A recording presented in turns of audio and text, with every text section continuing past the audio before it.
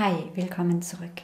Ich habe so eine geniale Frage bekommen, die möchte ich jetzt beantworten. Und die Frage war, ich kann nicht verstehen, kannst du mir bitte erklären, wie kann ich mein Herz öffnen? Ich höre die ganze Zeit von Herzensöffnung ist so wichtig und ich bin auf der Suche, ich bin auf meinem spirituellen Weg, aber ich verstehe das nicht mit der Herzöffnung. Wie kriege ich denn das mehr hin? Und Vielleicht ist es auch etwas, das du dich gefragt hast. Es ist eine super Frage, denn sie impliziert, dass es verstandesmäßig möglich ist, ein Konzept zu erarbeiten, das sich dann auf die Herzöffnung anwenden kann. Und ja, es gibt Praktiken, die unterstützen können, unser Herz zu öffnen, zum Beispiel wenn wir in die Stille gehen oder wenn wir in die Natur gehen, wenn wir ruhig werden in uns selbst und mehr uns selbst wahrnehmen können und eben auch das größere Feld um uns herum. Aber das sind nur Praktiken, Übungen. Letztendlich ist die Herzöffnung nichts, das wir durch ein konzeptionelles Verständnis herbeiführen können.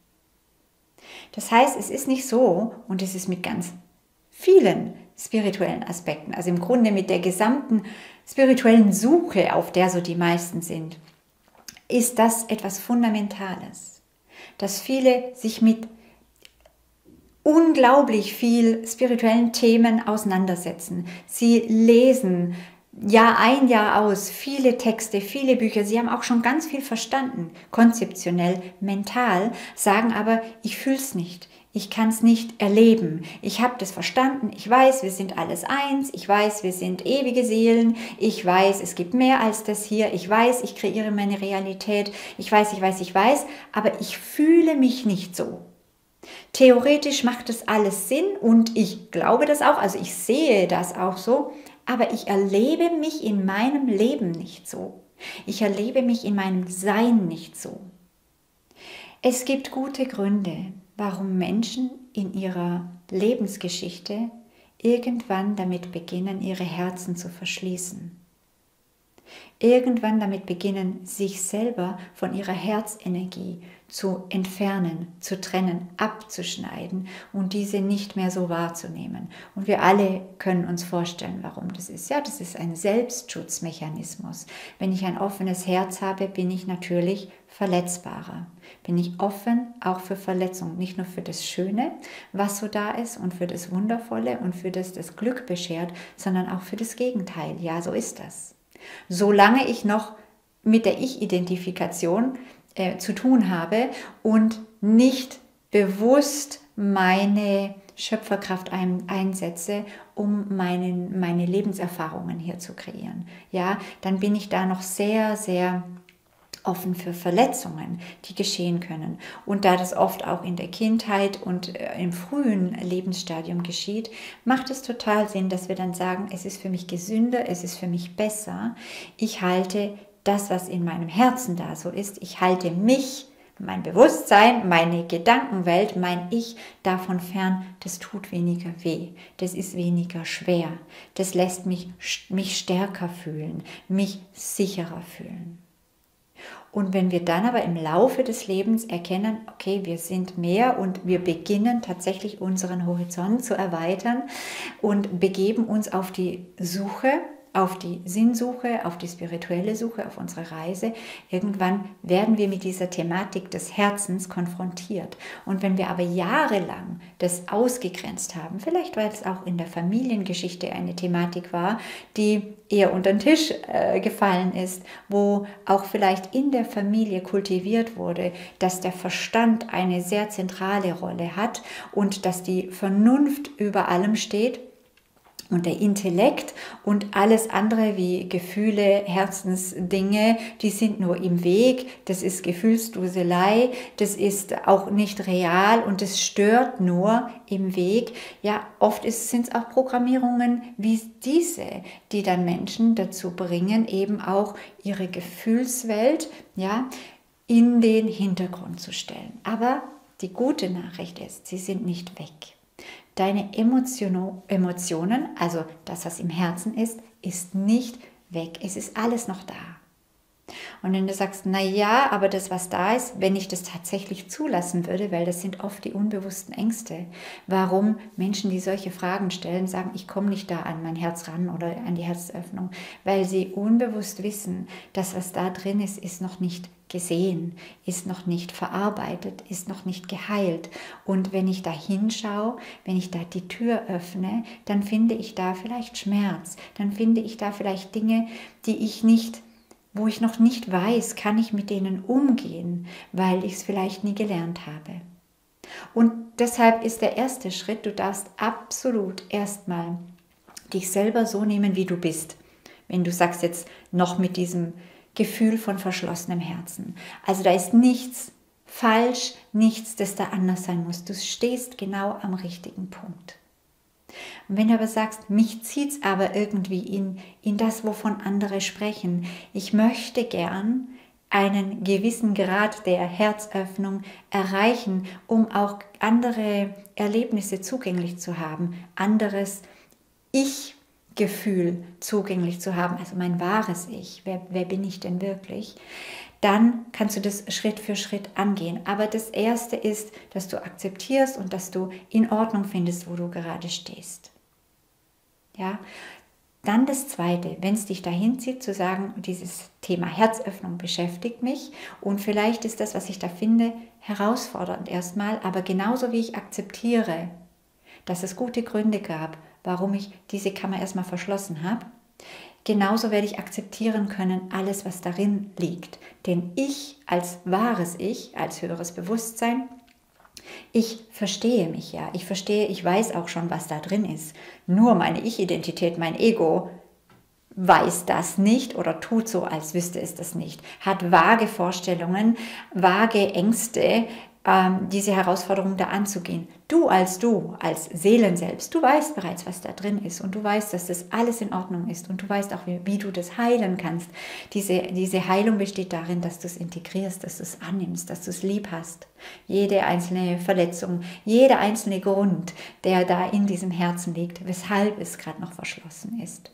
Ja, du bist absolut fähig, das zu nehmen und es zu halten und es gut werden zu lassen, sodass dieses Herz auch geöffnet werden kann und offen bleiben darf. Das bedeutet, es muss dann die Bereitschaft da sein, zu fühlen. Ja, und das kann schrittweise geschehen. Du musst dich da nicht reinstürzen, äh, gleich ins kalte Wasser, schrittweise. Aber ja, es bedeutet, dass du wieder dir selber zugestehst, deinen Empfindungen nachzugehen, ihnen Raum zu geben. In egal welcher Thematik und ihnen ihren Platz auch einzuräumen. Denn diese Empfindungen, das Herz, ist viel weiser, als der Verstand es jemals sein kann. Denn der Verstand ist Teil unserer Persönlichkeit, unserer Ich-Identität, ist wie ein Computer. Ja, unser Herz ist die Verbindung zum Kosmos, zum Universum, zur universellen Intelligenz, zum, zum Ursprung, zur Quelle, zum, zu unserem wahren Sein und zum, zur Essenz von allem. Das bedeutet, auch nur über diesen Herzraum können wir überhaupt in unser wahres Sein kommen. Mit dem Intellekt ist das nicht zu schaffen. Das geht nicht. So gerne intellektuelle Suchende das auch hätten, aber es kommt immer an die Grenze von jetzt muss es erlebbar, erfahrbar sein und zwar nicht geistig, mental, intellektuell, sondern mit dem Herzen. Und dieses Wort Herz hat immer so diese Konnotation von etwas sehr lieblichem, also es wird ja auch ständig benutzt zu zu allen, allen möglichen Zwecken. Ja, es hat was von kitschig, es hat was von romantisch. Das ist es aber nicht. Es geht um das Energiezentrum Herz, also um das Herzchakra. Denn wir haben ja unterschiedliche Energiezentren, die unterschiedlich blockiert oder frei sind. Und jetzt geht es eigentlich darum, eine Blockade zu lösen im Herzchakra. Das ist die Aufgabe. Diese Herzöffnung ist nichts anderes als dass das Energiezentrum, das grüne Herzchakra, da die Blockaden zu lösen.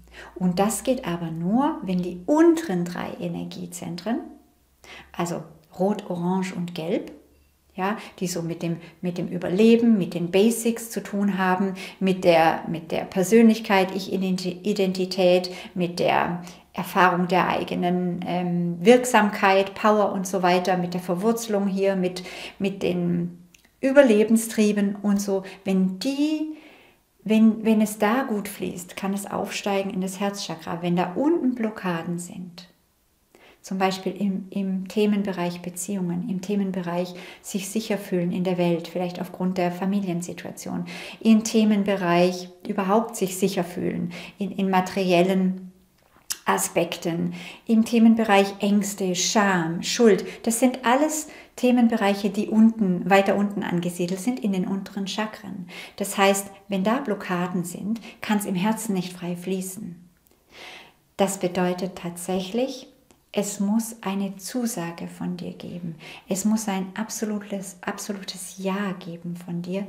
Ich möchte mein Herz, diese, diese, dieses Feld der Weisheit, dieses Feld der Liebe, das möchte ich zum Ausdruck kommen lassen. Das möchte ich wahrnehmen und mit dem möchte ich mehr leben. Und schon dieses Ja bewirkt, dass dein höheres Selbst oder wie auch immer du es nennen willst, das Universum reagiert und dir dabei hilft. Wir sind alle auf dem gleichen Weg und irgendwann haben wir alle freie Energiezentren, offene Herzchakren und ein Verständnis und ein Erleben davon, wer und was wir wirklich sind. Irgendwann kommen wir da alle an. Wir haben ja die Ewigkeit dazu. Wir befinden uns auf einem ewigen Weg und diese Inkarnation ist ein kleiner Teil davon.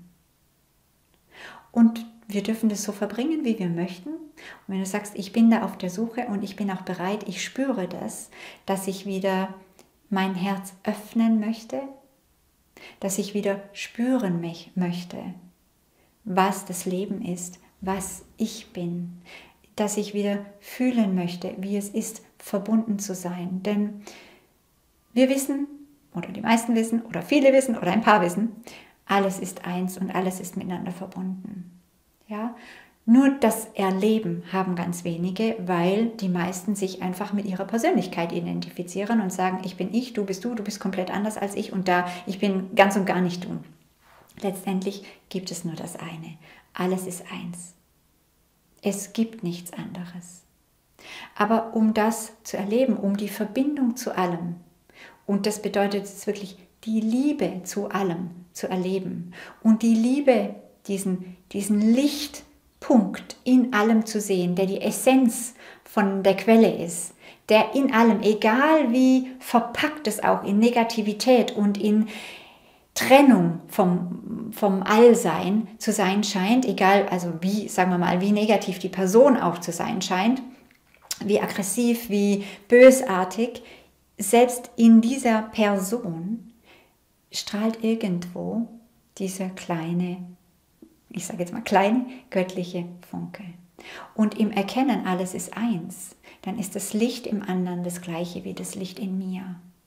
Und dann können wir durchschauen, hindurch, durch die Fassade, durch die Persönlichkeit, durch die Illusion der Getrenntheit und können uns durch diese Wahrnehmung des Lichts im anderen verbunden fühlen. Aber es ist eben ein verbunden fühlen, auch mit der Welt, mit der Natur, mit den Tieren, mit anderen Menschen, mit uns selbst, mit dem göttlichen Universum, wie auch immer du es nennst. Diese Verbindung oder Verbundenheit, die können wir nur fühlen. Klar können wir intellektuell sagen, ja, ich verstehe, sie ist da. Aber das macht es noch nicht erlebbar. Erlebbar heißt fühlen. Und das können wir nur mit unserem Herzraum. Und es ist wunderbar, wenn du auch auf diesem Weg bist und wenn du vielleicht bisher gesagt hast, da habe ich mich jetzt noch nicht so rangewagt. Ja, ich verstehe jetzt, ich kann es mit dem Verstand nicht hinkriegen, mein Herz zu öffnen. Ich weiß, dazu muss ich faktisch den Schritt gehen, mein Herz zu öffnen. Und dafür braucht es meinen Mut, dahin zu gehen, aber eben auch das Wissen, die Gewissheit, ich kann mit allem, was da drin ist, umgehen, denn ich verstehe ja alles. Und was in meinem Herzen ist, Das braucht Liebe, das braucht Annahme, das braucht Mitgefühl, Akzeptanz, Verständnis und Segen. Und ja, ich, ich kann das diesen Aspekten geben.